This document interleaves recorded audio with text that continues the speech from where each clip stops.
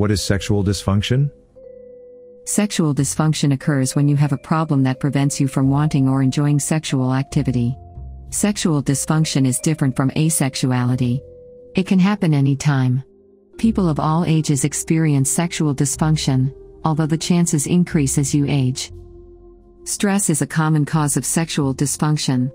Other causes include sexual trauma, psychological issues, diabetes, heart disease or other medical conditions, drug use, alcohol use, certain medications. When does a bad night become a disorder? Four categories of sexual dysfunction exist. It's normal not to be in the mood sometimes. None of these should be considered a disorder unless it happens regularly and significantly affects your sexual life. Desire disorder is when you have little or no interest in sexual relations on an ongoing basis. Arousal disorder means you're emotionally in the mood, but your body isn't into it. Orgasm disorder means you're emotionally in the mood, but you have an inability to climax that leaves you frustrated. Pain disorder involves having pain during intercourse. Libido lowdown.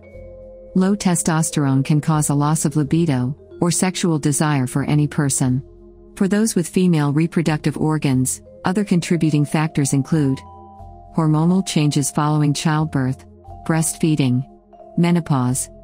Other causes include high blood pressure, diabetes, certain medications, relationship problems, sexual inhibitions, stress, fatigue, a fear of pregnancy. Sexual dysfunction in penises, erectile dysfunction. Erectile dysfunction occurs when a penis cannot get or stay erect to engage in intercourse. This can occur due to a problem with blood flow, a nerve disorder, an injury to the penis, psychological problems, like stress or depression, relationship issues, Peyronie's disease, chronic illness, some medications, ongoing erectile dysfunction can cause anxiety. Sexual dysfunction in penises, ejaculation disorders. Premature ejaculation is ejaculation that happens before or immediately after penetration. This is often a consequence of performance anxiety. It can also be due to other psychological stressors, sexual inhibitions, nerve damage, spinal cord damage, certain medications. Impaired ejaculation occurs when you can't ejaculate at all. Retrograde ejaculation can happen in people with penises, particularly in those who also have diabetic neuropathy. During orgasm, ejaculation enters the bladder instead of exiting out of the penis. Although this doesn't cause major medical issues, it can impair fertility. You should see your doctor about it if you have it. Sexual dysfunction in vaginas, pain and discomfort. Many things can cause pain during sexual activity. Inadequate lubrication and tense vaginal muscles make penetration painful.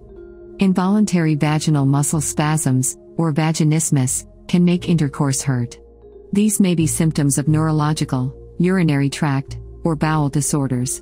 The hormonal changes of menopause can make intercourse uncomfortable. A drop in estrogen levels can result in thinning of the skin in the genital area. It can also thin the vaginal lining and decrease lubrication. Sexual dysfunction in vaginas, difficulty having an orgasm.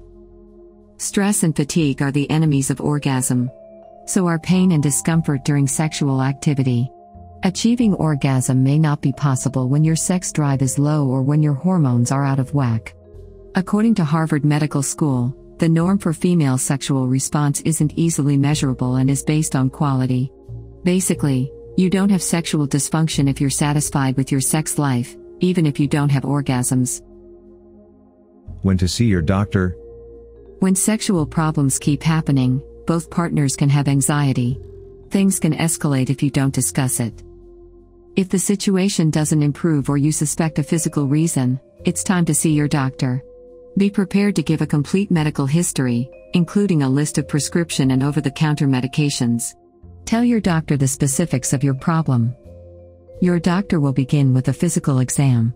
Depending on the outcome, this may be followed by a diagnostic testing. If they don't find a physical cause, consider seeing a therapist. Treating physical causes.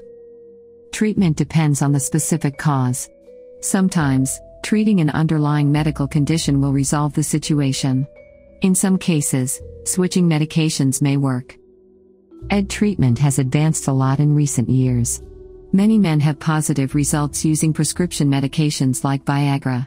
Other remedies include mechanical aids, penile implants, or surgery. Lubricating gels or creams or hormone therapy may solve the problem of vaginal dryness. Treating psychological causes. Psychological counseling may help. A therapist can teach you how to cope with stress and anxiety. Joint counseling with your partner can help improve communication and increase intimacy. Sometimes, support and education about sexual behavior are all that you need. You can address body image and other inhibitions in counseling. For deeply rooted sexual dysfunction, psychotherapy may be necessary. Long term outlook. Often, the longer a sexual dysfunction goes on, the more your level of stress and anxiety rises. This can perpetuate the problem. Most of the time, the outlook for people with sexual dysfunction is quite good. However, some medical conditions make it more difficult to overcome. You can reverse sexual dysfunction due to stress or temporary circumstances if you approach them openly. Deep seated psychological issues may take longer to manage or may never fully resolve, but you can improve them. Points to ponder. Communication is important. If you have any type of sexual dysfunction, talk to your partner. Don't hesitate to seek medical advice. The National Institutes of Health urge victims of sexual assault to seek counseling. You're more likely to experience sexual dysfunction if you abuse alcohol or drugs. Before taking a new medication, learn about the potential side effects. You should take them only as directed. Sexual dysfunction happens to most people at one time or another. If it becomes an ongoing problem, you should seek help. Don't forget to like, subscribe, and hit the notification bell.